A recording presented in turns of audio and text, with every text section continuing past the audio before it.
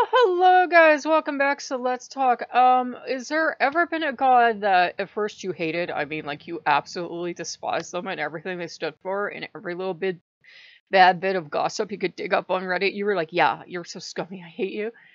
And then like just something about them, you end up it ends up becoming the god you love the most. I go, oh, but that's cute. I, I, I, my ears, I know they're like body acceptance, man. Accept your body.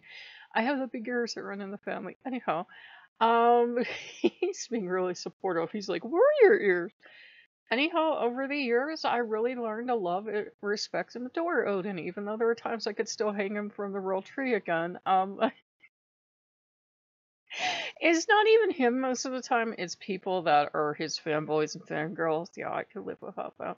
But was there ever a god that you just you hated their guts?